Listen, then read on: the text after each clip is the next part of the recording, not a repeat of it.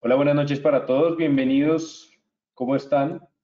¿Cómo les ha ido? Bienvenidos a este webinar de análisis de fundamentales. Un saludo para toda la audiencia de GoToWebinar. Un saludo también para la audiencia de Facebook. Vamos a comprobar que el micrófono de Facebook hoy está funcionando bien. Listo. Ya no hay más problemas con el micrófono de Facebook. Buenas noches, bienvenidos.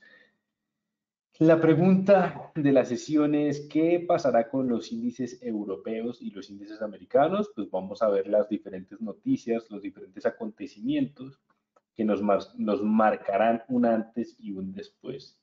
También quiero que revisemos un poco em, las operaciones, las hipótesis de las operaciones que planteamos ayer en, durante el webinar, que se dieron muy bien.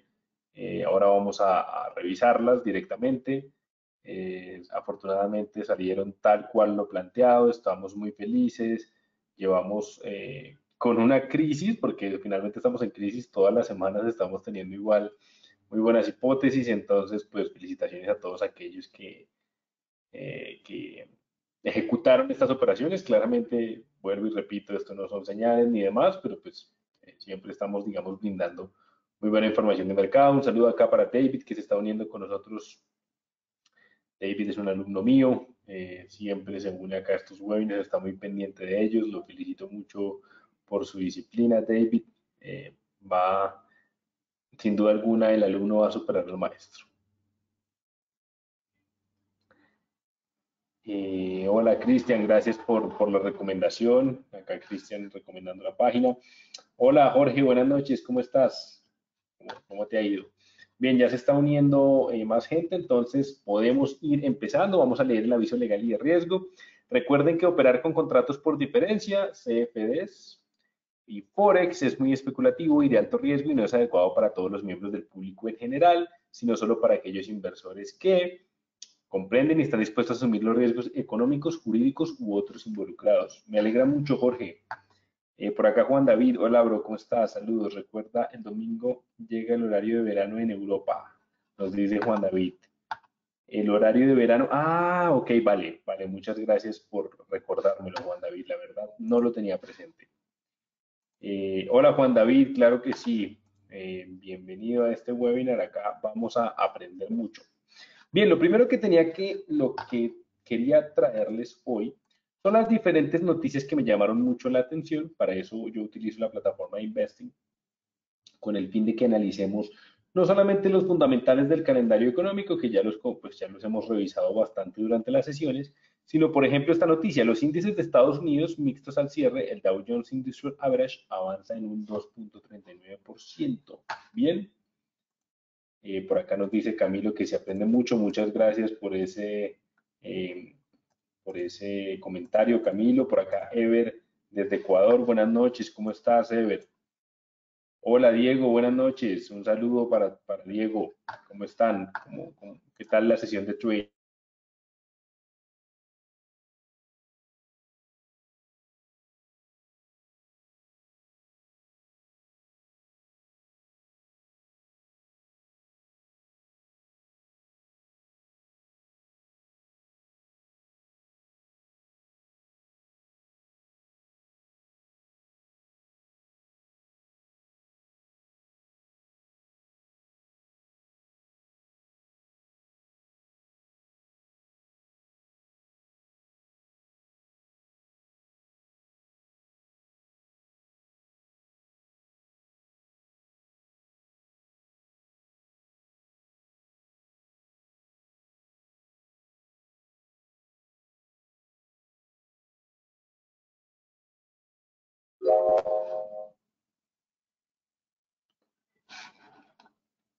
Eh, bien, qué pena con ustedes, se me fue un momento, el internet está saturado, de verdad les digo, todo el mundo por la cuarentena está muy saturado, entonces les pido paciencia, si de pronto se me desconecte de un momento a otro, no me voy a ir, entonces de verdad todo el día ha estado terrible, eh, pues es lo normal, todo el mundo en la casa, pues el internet se satura, ¿no? Pero ya volvimos, ¿listo? Bien, entonces, eh, del Dow Jones, el mejor valor de Dow Jones fue Boeing. La verdad, yo quedé muy asombrado cuando leí la noticia porque Boeing pues eh, estamos hablando del sector de la aviación, bueno, pues más que la aviación de tecnología, de tecnología para aviación. Mm, y bueno, me sorprendió mucho, pero miren que fue el de mejor valorización para el Dow Jones. Este fue el gran impulso, gracias a 31,05 puntos, para que el, Dow Jones pudiera subir. Un saludo acá también para Mila Murillo que se está uniendo en este momento. Eh, el del NICE, el de, bueno, el del NICE, le siguen United Technologies Corporation, bien, que avanzó un 10,87%, y también uno que me sorprendió mucho, Walgreens Boots Alliance, ¿listo? Eh, ah, no, perdón, pero este fue el, este fue el que cayó, bien, el que cayó en, para Nasdaq fue Walgreens Boot Alliance, que cayó un 8,42%, y para cerrar en 41 Walmart Inc. Bien, Walmart, había tenido una recuperación la semana pasada con todo el tema de abastecimiento. Sin embargo, finalmente terminó a la baja e hicieron que los índices americanos más importantes, el Standard Poor's 500, el Dow Jones Composite Average y el Nasdaq, pues tuvieran un cierre positivo con miras a tener una corrección un poco más profunda. Bien, ¿a qué se debe toda esta corrección? Pues muy sencillo. Quería mostrarles que el Senado de los Estados Unidos está listo para aprobar el, mayor estímulo de la historia moderna de Estados Unidos. Bien, con estímulo nos referimos al paquete de estímulo de guerra. Bien, este paquete de 2 billones de dólares, y ojo con este valor porque uno lo puede malinterpretar. Billones en América Latina significan 2 mil millones de dólares. Eso no es nada, pues bueno, no es nada para la economía estadounidense. Aquí estamos hablando de 2 millones de millones, ¿bien? 2 billones en términos americanos. 2 billones de dólares por lo que se le inyectó a la economía para poder sobrepasar esta crisis financiera que está representando este, pues esta crisis en el sistema de salud. ¿Listo? Em, entonces, esto también tuvo que ver con la subida, la recuperación de los mercados, claramente. La pregunta es, ¿va a generar una corrección esta situación? Es decir, ¿los mercados van a subir para nuevamente empezar a caer? ¿O por el contrario, van a volver a sus, a sus indicios eh, principales, sus tendencias normales, que son alcistas? Pues tenemos que esperar. Yo creo que esta semana va a ser decisiva para predecir el comportamiento de los demás. En, el caso de los europeos, eh, el país que más inyectó dinero, como es normal, fue Alemania, inyectó un billón de dólares, lo cual pues fue bastante para salvar la economía de los índices europeos. Italia, pues que ha sido el país más afectado por todo el tema del coronavirus, únicamente inyectó 745 mil millones de dólares, no, perdón, 75 mil millones de dólares. Inyectó Italia, pues que debería ser el que más está inyectando, pero también hay que entenderlos porque están invirtiendo mucho en su sistema de salud.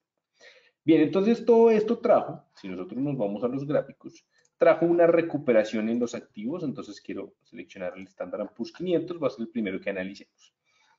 En el marco semanal ya empezamos a ver pues esa recuperación después de una fuerte caída que presentó el activo. Voy a correr este un momento para analizarlo. Eh, después de esta fuerte caída ya aparece una semana que pareciera hasta el momento va a cerrar en positivo, debería hacerlo en el marco diario, miren cómo ya tenemos una corrección. Esta corrección, mucho ojo, porque esta corrección sigue siendo un máximo menor, ¿bien? Y todavía sigue siendo una corrección ordenada, es decir, en cualquier momento este primer LH podría desarrollarse a la baja. ¿Listo?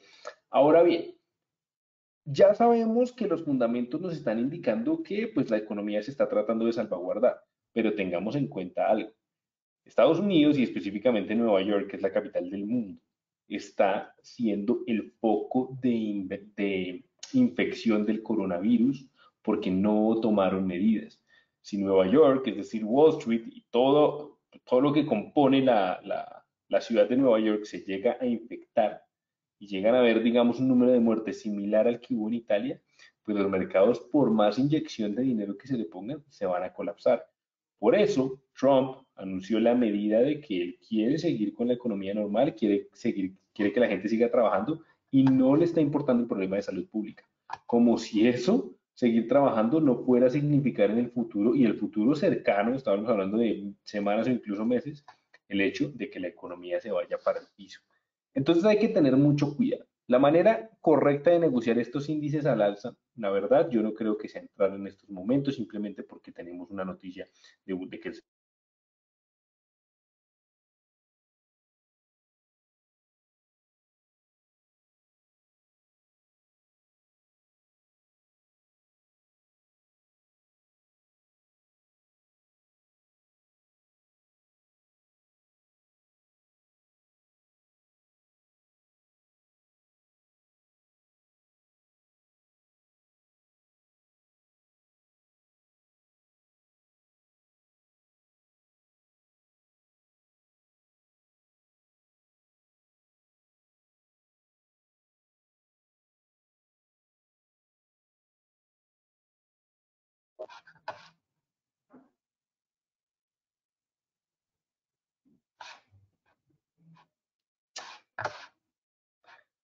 Hola, lo siento mucho, les digo la verdad, eh, en este momento el Internet está saturado, todo el mundo en el edificio está usando Internet, eh, está muy mal, eh, espero me entiendan, por favor, estoy en cuarentena y pues antes de, milagro el Internet no se ha ido a, no, se ha, no ha habido un apagón de Internet, sin embargo, ahí estamos tratando de, yo tengo todo desconectado de Internet para poder tener pues una mejor señal. Bien, la manera correcta de operar esto es la siguiente.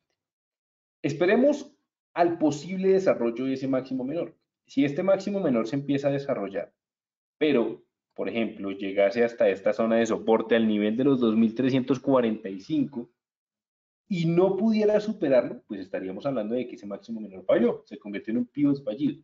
Si eso ocurre, podríamos pensar ahora sí en un fuerte rebote. Yo creo que dependiendo de lo que pase en esta semana, los índices americanos para la próxima semana van a estar muy interesantes para la negociación.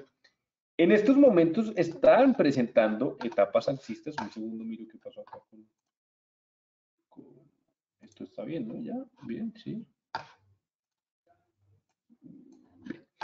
un saludo acá para David Taborda, que hace mucho no lo veía en mis webinars. Hola David, ¿cómo estás? Bien, entonces tenemos un patrón, quiero que lo veamos con fluidez desde el marco de una hora. Hay un patrón operativo, tenemos un mínimo mayor, sería en este caso el primer mínimo mayor que aparece porque ya hubo reseteo, pero el, único problema radica en que no me da la fluidez, me da el 1 a 1 hasta siguiente resistencia y recordemos que al menos en fluidez tenemos que tener 2 a 1 en fluidez y tratar de tomar beneficios en el 3 a 1. Entonces, la verdad, este patrón eh, a mí no me convence mucho no digo que no se pueda desarrollar, probablemente sí se pueda desarrollar, máxime cuando en el marco de cuatro horas pues ya rompió esa línea de tendencia, está buscando una nueva etapa 2, pero yo creo que la forma más precisa y menos riesgosa de hacer una negociación es buscando un fallo en el máximo. ¿Listo? Bien, esas son las noticias alentadoras en cuanto a los índices, en cuanto a la economía, tanto europea como eh, norteamericana. Bien, también en, en Colombia, la bolsa de valores cerró al alza, entonces estamos, digamos que, viendo alguna recuperación, pero cuidado, porque les tengo el artículo que la verdad me preocupa bastante, y es que la OMC advierte que recesión económica por coronavirus será, no dice sería, o sea, no es una no se plantea la posibilidad, están afirmando que será peor que la crisis de 2008. Hoy estaba escuchando eh, en, el, en, el, diario de The Economist eh, hablar, es que no me acuerdo el nombre del economista, fue uno de los que predijo la crisis del 2008, donde decía que a esto no se le va a poder llamar recesión, sino depresión. Señores, pues yo la verdad quisiera que se equivocaran, bien, eso no es bueno para nadie, bien, una, una depresión, pues ya sabemos que, que conlleva una depresión, pero eso es lo que están diciendo. Y no lo está diciendo los noticieros, bien, lo está diciendo economistas de grande prestigio y la Organización Mundial del Comercio. ¿El lotaje utilizado para las divisas es el mismo para operar los índices? Eh, no. Eh, Edrianson, mira, el lotaje en los índices es distinto, ya que si tú vas a hacer una operación, por ejemplo, en el Standard Poor's, yo me voy acá a nueva orden, solo me deja entrar con mínimo un lote. Bien, 100 mil unidades del activo que estés controlando, 100 mil dólares sobre Standard Poor's. Para eso tienes que consultar los márgenes con el fin de poder acomodar tu riesgo, ¿listo? Estos activos generalmente para negociarlos pues conllevan un poco más de riesgo. Entonces para que lo tengan por favor muy en cuenta. Listo, entonces, ¿qué nos dice? Pues en el 25 de marzo, en Ginebra, nos dijeron, las proyecciones, las proyecciones de la Organización Mundial de Comercio muestran que el impacto del coronavirus en cuanto a contracción económica y pérdidas de puestos de trabajo será peor que lo visto durante la recesión del 2008, dijo el director general. Bien, eh, las proyecciones recientes muestran que el mundo de verdad ya está perdiendo muchos empleos, ya hay, me han llamado amigos y amigas que me están diciendo como estoy preocupado porque probablemente no sé si pueda volver a, mi, empleo normal. Y lo que nos está mostrando esta crisis es que realmente va a ser dura. Hay que prepararnos no solo, no solo para los contagios, para el tema de salud pública, sino para lo que vamos a vivir. En estos momentos, pues eh, una muy buena alternativa, y no quiero promocionar nada, simplemente les digo de todo corazón, es eh, tener un negocio distinto al que pues, nos da de comer. El trading, finalmente, en crisis o no, uno puede hacer dinero. Si uno tiene una estrategia, uno tiene un buen manejo de riesgo y demás, uno puede hacer dinero. ¿Listo? Entonces, si es el caso, yo eh, en estos momentos creo que yo les voy a ser muy sincero, yo tengo varios negocios, y ahorita estaba muy enfocado en otro negocio, pero como el otro negocio se paró, volví 800% al trading. Estoy casi que 24/5 funcionando como los mercados.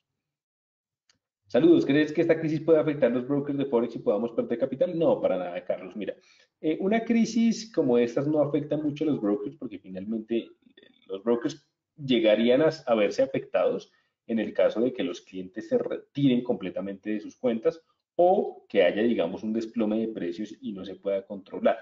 Bien, pero como esos desplomes ya se están controlando mucho con el hecho de que se cierran, digamos, algunos activos, se baja el apalancamiento, se baja el margen y demás, pues es muy, es muy poco probable. Bien, incluso creo que los brokers se pueden fortalecer en este, en este punto específico debido a las alianzas tecnológicas que tienen muchos de ellos. Ahora, hablo de brokers con buena regulación, ¿no? Si ustedes entran a un broker con una regulación, pues, eh, digamos, muy débil, eh, claramente sí podría pasar, y no solo en un escenario de crisis, podría pasar en cualquier escenario. Por eso sí les recomiendo mucho eh, buscar brokers que estén bien regulados, que tengan una, una trascendencia y que ustedes pues puedan confiar en ellos. Eh, ahora, un banco, el banco más grande del mundo, JP Morgan o lo que es Goldman Sachs, Citigroup y demás, se pueden quebrar. Bien, hablemos las cosas como son. Un banco, si un banco como eso se puede quebrar, pues cualquier entidad financiera, pública o privada puede entrar en quiebra. ¿Listo? Eso es algo que tenemos que tener en cuenta.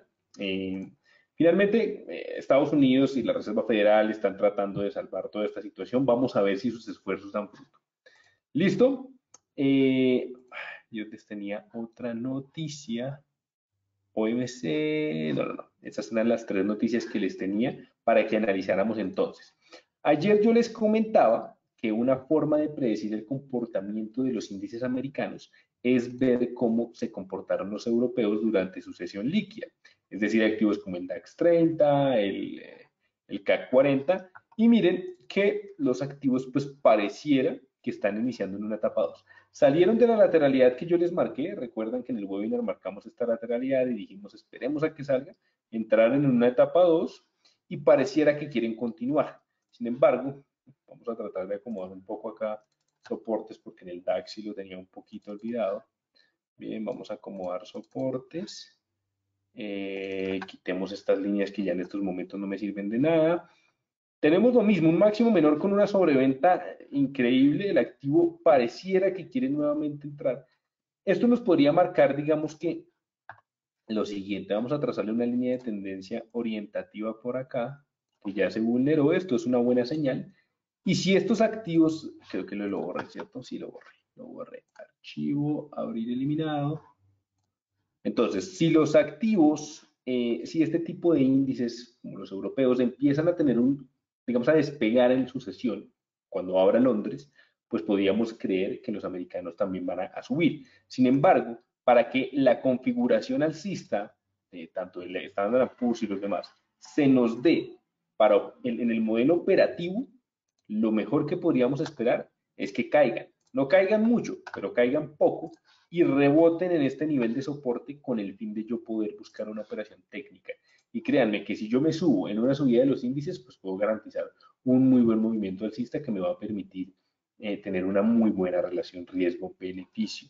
Bien, los mejores, pues yo siempre, miren, de, los americanos opero trato de mirar la mejor configuración. Mi, mi favorito siempre será el estándar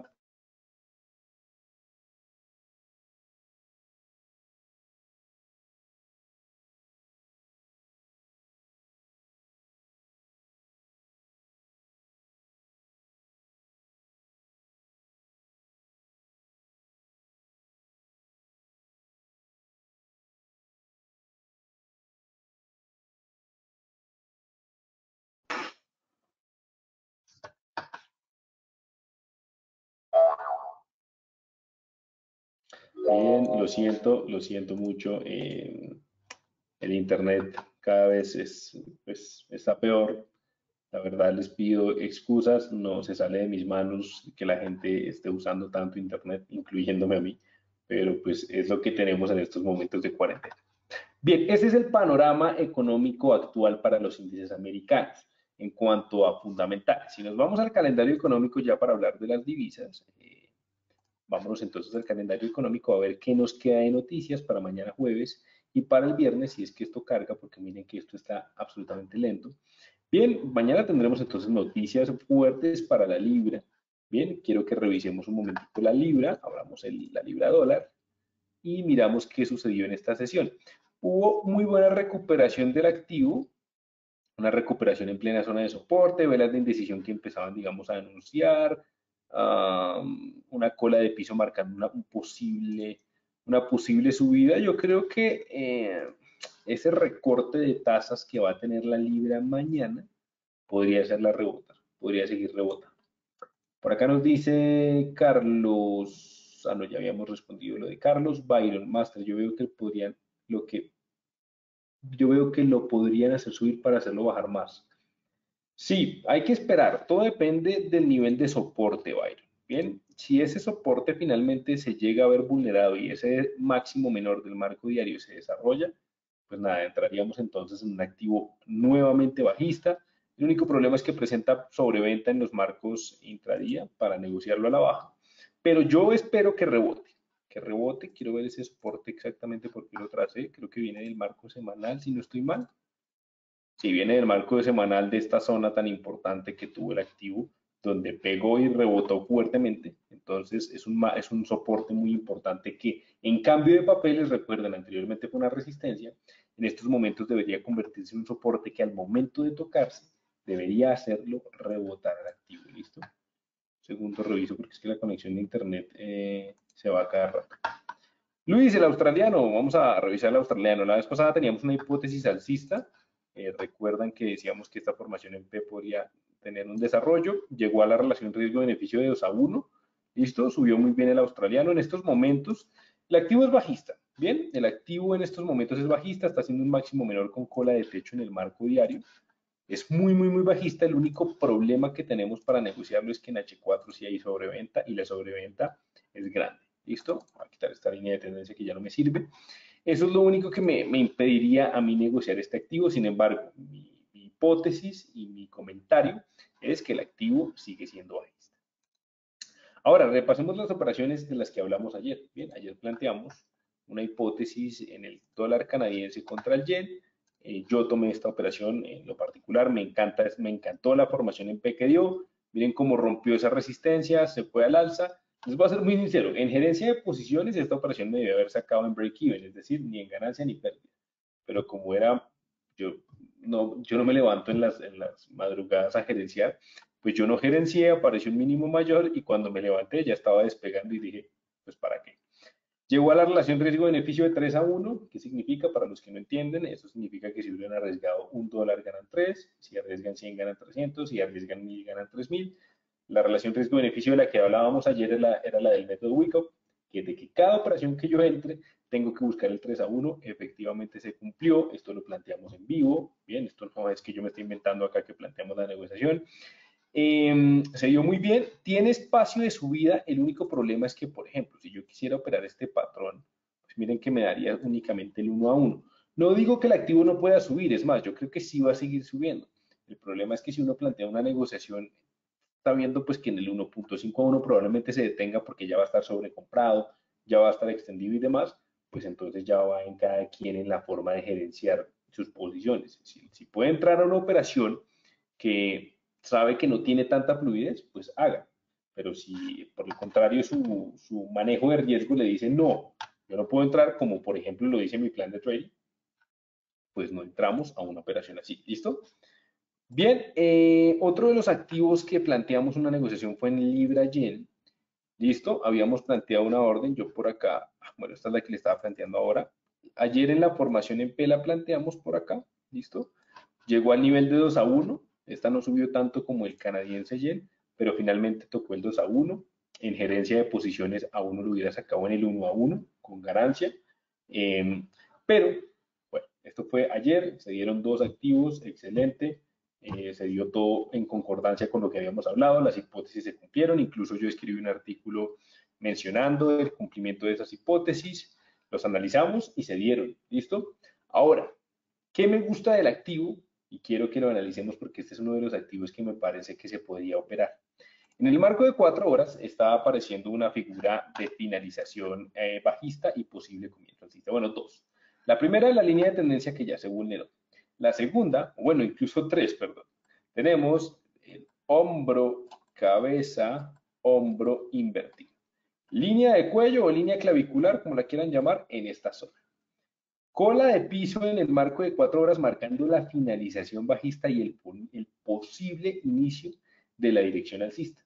¿Qué tenemos que ver? Si tiene fluidez alcista en el marco diario para ver si, nos, si podemos operarla. ¿Listo? Vámonos entonces al marco de cuatro horas eh, tiene fluidez, uy, era zoom y le di menos, tiene muy buena fluidez, vamos a ver en el marco de una hora, ya tenemos patrón operativo. Ya tenemos patrón operativo. Este máximo menor, este primer LH, está fallando porque no logró hacer un LL, un mínimo menor. Se convirtió en un fallido y esto es un primer HL. Este primer HL tiene muy buena proyección alcista, me gusta este activo. Yo programaría una orden más o menos así. Vamos a ver si me da la relación riesgo-beneficio. Pucha, no alcanza a dar exactamente, pero bueno. Eh, lo otro que podemos hacer es subir un poco más la orden y pegarle más el stop, a ver si nos da. No, igual no me sigue, no me da exactamente, pero finalmente la operación a mí me llama mucho la atención Creo que en estos momentos ya abrió Asia. Vamos a revisar. Ya estamos a, minutos de que abra, eh, o, ya abrió, no, no, sí, creo que ya abrió, ya abrió, ya, ya, abrió Tokio. Ya abrió, entonces ya ven cómo está bajando el spread, pues ahí aparece un poco. Me parece que se puede dar, me gusta mucho, me gusta mucho este, este patrón. No sé si programarla en este mismo momento. Veamos, vamos a ver. Vamos a programarla en orden pendiente. Eso sería un buy stop. 131.240. Es que está muy interesante esa operación. 132, 174. 132, 174. Y el take profit en el 134.042. 134. 042. Y la verdad me interesa mucho, recuerden, esto no son señales, yo simplemente estoy, em, estoy planteando una operación porque me gusta, me gusta mucho el activo, la verdad me gusta mucho lo que está haciendo. Eh, sí, está muy bien. Está muy, muy bien. Tiene todo el espacio de seguir subiendo. Vamos a cambiar este Fibonacci para que no me interrumpa el marco de tiempo. Bien, listo y lo ponemos en el marco de una hora para identificarlo. ¿Listo? Más o menos es por acá. Acá. Listo. Bien. Pues todo se alinea al marco semanal. El marco semanal tiene fluidez alcista, el marco diario también. Tenemos triple patrón, ruptura de línea de tendencia bajista en H4, hombro, cabeza, hombro invertido, tenemos ya un pivot fallido en H1, creo que no necesitamos nada más. Ojalá eh, lo mejor sería que se desarrolle en la sesión europea, ¿listo? Eh, si se desarrolla en sesión europea, sería fantástico. Si no, pues en esta sesión asiática también se puede desarrollar y la verdad que me interesa muchísimo. Otro de los activos que me gusta bastante eh, para negociar esta semana es el franco suizo. Bien, han, habido muchas oportunidades. El franco suizo, bien, podemos identificar que tiene la aparición de un primer mínimo mayor. Bien, esto sería el primer mínimo mayor, primer HL. Obviamente tenemos alguna dificultad, la cual es que apareció después de un rally, después de un movimiento vertical, los mínimos mayores pueden fallar. Sin embargo, tenemos que acomodarnos al mercado y el mercado me está diciendo, yo no voy a, no estoy actuando de manera normal, estoy actuando de manera, digamos, un poco más, más extraña, entonces tengo que acomodar. Hipótesis, pues ese desarrollo de mínimo mayor yo lo operaría de la siguiente manera. El activo está, estaba un poco lateral, con un poco de caída, yo esperaría que rompa la línea de tendencia que le tracé, haga el patrón, ojalá haciendo pullback, bien, rebotando en esa línea de tendencia, y por encima de esta zona, bien, por acá podemos trazar una línea, una línea de entrada, un buy stop, por acá una stop loss, esperando que el activo tenga un buen desarrollo. Lo que me gusta del activo es que tiene muy buena fluidez. En H1 podemos ver, un momento, porque está, ah, ok, ya, esperen un segundito. Bien, sería por encima del 0.60 y, pucha, no leo nada, 98.357. Por encima de ese nivel habría una muy buena compra, hay que esperarlo, este sí hay que esperarlo un poco más, pero tiene muy buen espacio de desarrollo. Miguel, eh, hola, puedes exponer cómo tienes tu FIBO configurado y acá nos dice, eh, el franco en H4 podría ser un retroceso. Pues en H4 está presentando una etapa 3, bien, esta etapa 3 es sana, lo que a mí me gusta del activo realmente es que este mínimo mayor puede tener un muy buen desarrollo. Está pegando en una zona de soporte y en cualquier momento podría rebotar. ¿Listo? Eh, el Fibonacci, claro, Miguel, mira, te voy a enseñar. Eh, lo que pasa es que, bueno, yo lo tengo, un momentico, lo trazo en, algún activo, yo ya lo tengo modificado, entonces vamos a euro. Eh, lo trazo, cuando lo traces pues te va a salir de una forma completamente distinta. Lo editas, yo lo edito, te voy a mostrar ahí un poquito acá en los niveles de Fibonacci. Niveles, pones en orden 0, 1, 2, 3, bla, bla, bla, 5, 6, ta, ta, ta. Stop loss, entrada y cada nivel te marca la relación riesgo-beneficio. Ahora, como lo hice en la conferencia de México, hay muchas personas que utilizan el Fibonacci para hacer análisis. Si ustedes lo hacen, por favor no lo modifiquen porque entonces después volverlo a poner es muy complicado y es muy cansón y eso no es como hacer un control Z, ¿listo? Entonces, si no, si no, si lo utilizan, por favor no lo vayan a, mover, ¿vale? Por favor, porque si no después me dicen que es que yo le fue, fue mi culpa. Diego, claro que sí, ya miramos el, bueno, el euro, quería hablar del euro también un poco, y es que el euro está presentando un bonito patrón. Está teniendo un rebote alcista, pero esto es un patrón Finalmente, esto es un patrón de primer LH. Este primer LH lo mismo, podría tener una continuación bajista. Yo quiero que el euro se mantenga así de aquí al viernes y la próxima semana nos dé un patrón interesante operativo. ¿Dónde tendremos ese patrón? Cuando se rompa esta micro tendencia alcista. ¿Listo? Cuando se rompa, nosotros podemos buscar. Pero entonces esto es para la próxima semana. Ya estoy viendo que tendremos eh, cosas interesantes para la próxima semana. ¿Listo? Por acá nos pidieron la plata la, si era la plata o el oro. No, plata. Listo, chao. Entonces, XAG. Mm, bueno, me gusta mucho que la plata rompió este, este fuerte nivel de resistencia. Eso me agrada bastante. Me imagino que eso generó una situación de pérdida de sobreventa en H4. Me sirve esa pérdida de sobreventa. Yo creo que el activo, si rompe esta formación en P, podría ser alcista, ¿vale? Por encima de esta zona, en lo que estoy trazando yo el Fibonacci. Eh, ay Dios. Por encima de esta zona, me parece que el activo podría ser alcista en concordancia con lo, que está haciendo el oro. Ahora, el oro me gusta mucho más, para ser sincero. El oro quiero que lo revisemos porque si hace un mínimo mayor en el marco diario, sería un super activo para negociar. Y lo está haciendo, ya empezó a, a hacerlo. Entonces, lo que quiero yo es que ya sea que rebote en este soporte o en este, haga ese mínimo mayor, porque después de hacerlo, inmediatamente yo buscaría una compra que llegue hasta el nivel del 1.664 dólares. ¿Listo? Entonces, ¿qué necesitamos en H4? Creo que, no, está súper bien en H4. Así, ah, ya es en H1. En H1 tiene mucha sobrecompra. Cuando pierda esta sobrecompra, ojalá el activo se mantenga corrigiendo de aquí al viernes y nos dé la operación la próxima semana, ¿listo? Ojalá eso es lo que yo espero para el oro, pero si tengo que escoger entre oro y plata, eh, nada que hacer, me quedo con oro. Los americanos, eh, lo mismo, lo que les digo, los índices americanos sería mucho mejor que ya, ya empezaron a caer los futuros. Esto, quiere, esto, esto me puede mostrar que si llega este soporte y se respeta, tendríamos una muy buena operación en, en los índices americanos. ¿Listo?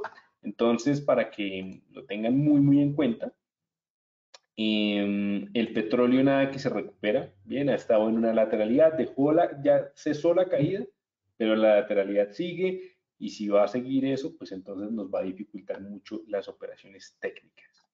Yo creo que hay que concentrarnos en las divisas. Miren que finalmente las que están dando oportunidades, o, ya sea para estos momentos o próximas, son euro contra dólar americano. Tenemos también el dólar, el, dólar contra el franco suizo, el oro, eh, y hablamos también de la libra yen, ¿no? La libra yen, que a mí, la verdad, este activo, le confío mucho, creo que va de verdad a tener un despegue increíble activo me gusta bastante. Ahora, en el canadiense yen, lo mejor que podría pasarle a este activo es lo que está sucediendo en este punto. Este activo todavía tiene mucha fluidez alcista, pero para negociarlo necesitamos que haga esto, que llegue hasta esta zona de soporte y que en este punto empiece a rebotar. Pero yo creo que este activo puede llegar fácilmente después de la formación de colas de piso y finalización hasta el nivel de los 81,403.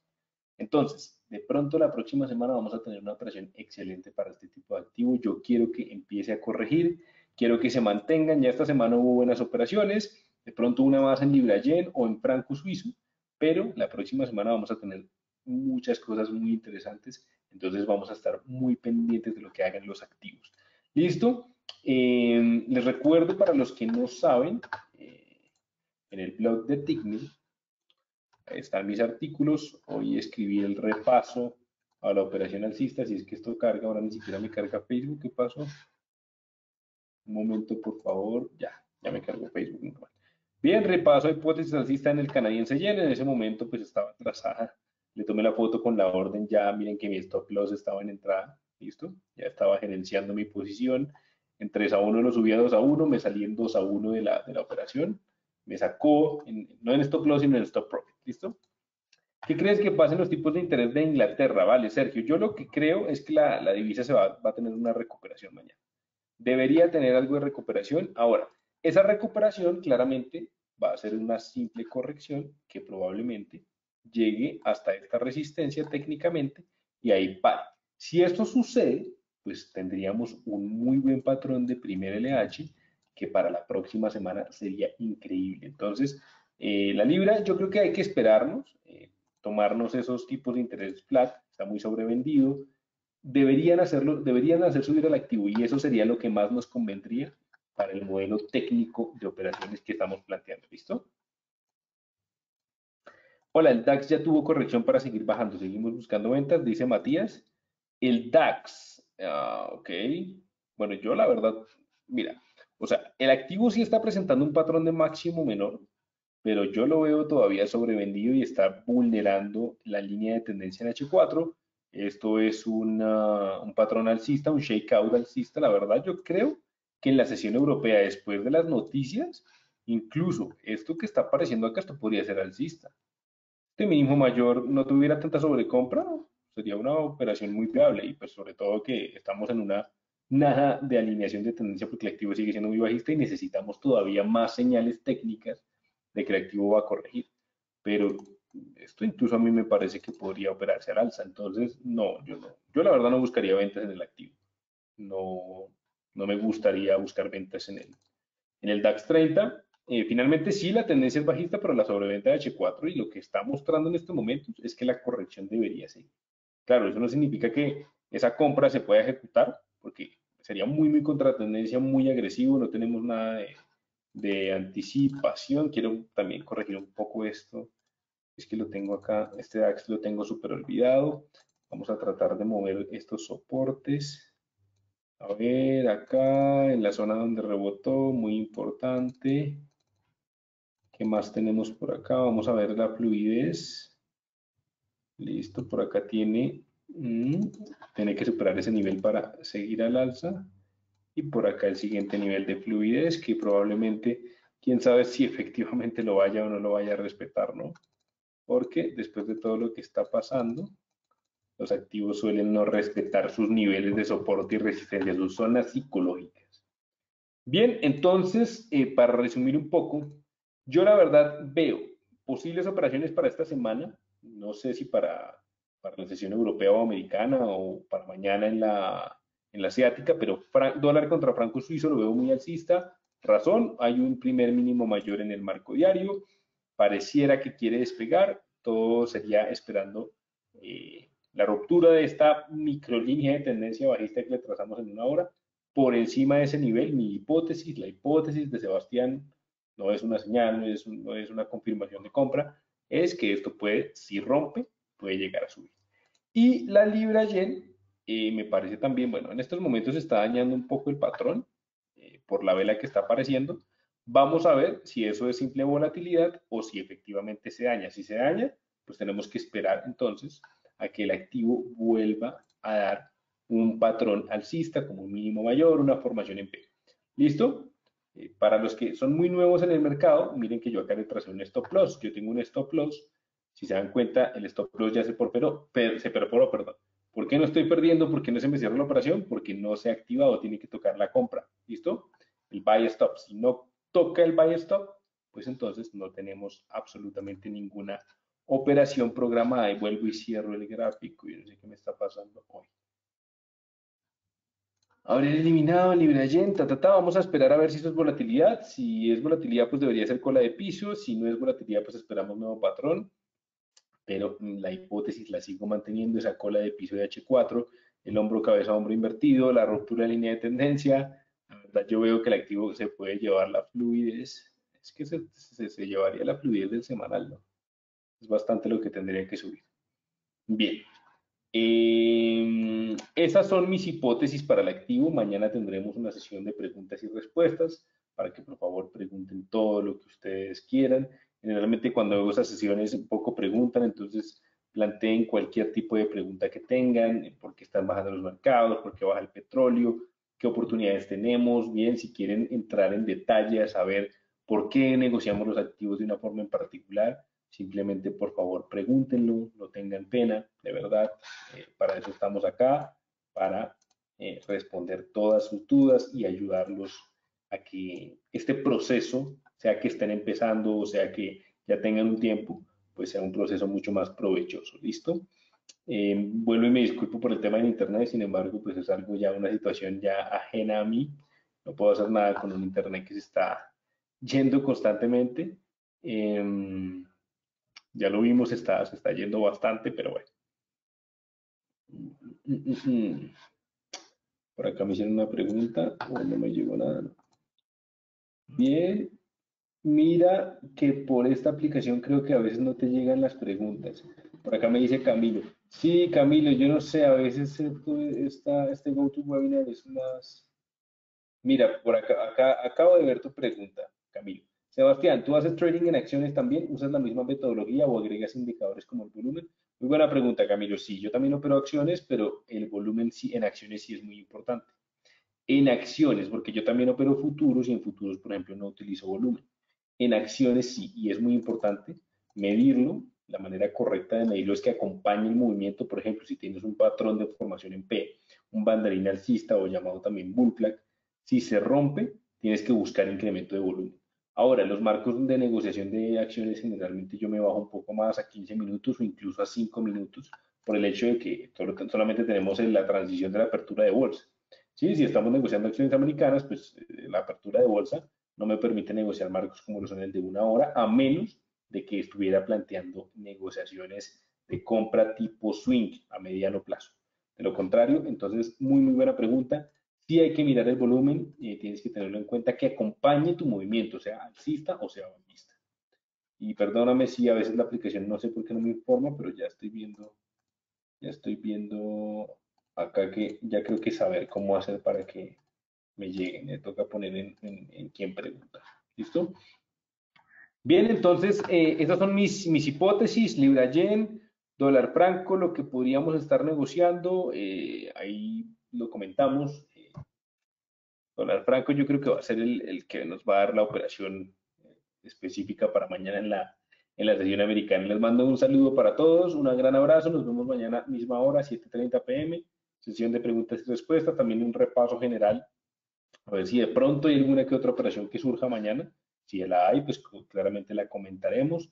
Si no la hay, pues eh, estaremos muy pendientes de ver qué nos trae el mercado mañana. Les mando un gran abrazo. Gracias por haberse conectado conmigo. Gracias a todas las personas que, que le dan like a mis videos. Eh, la verdad les agradezco mucho. Eh, todo lo hacemos con, con, mucho cariño para que pues todos podamos aprender. Nunca dejamos de aprender con los mercados financieros. De verdad, les agradezco mucho. Buenas noches, Camilo. Que estés muy bien. sí, es verdad, Camilo y muy, muy grato tenerte por acá. De verdad que eh, siempre, siempre veo que te conectas. Muchas gracias por conectarte a estos webinars y darles la, importancia que les das. Entonces, nos vemos mañana nuevamente 7.30 pm. Que estén muy bien. Chao.